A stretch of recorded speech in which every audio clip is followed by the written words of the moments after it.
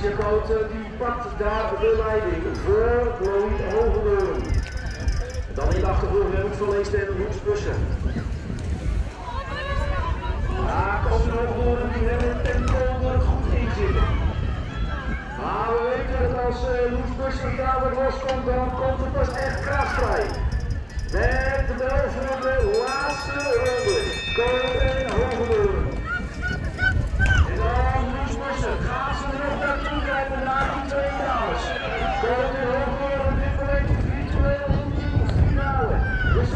Hier gaan we vissen met Patricia Koot. Patricia Koot en Chloe Hogendoorn.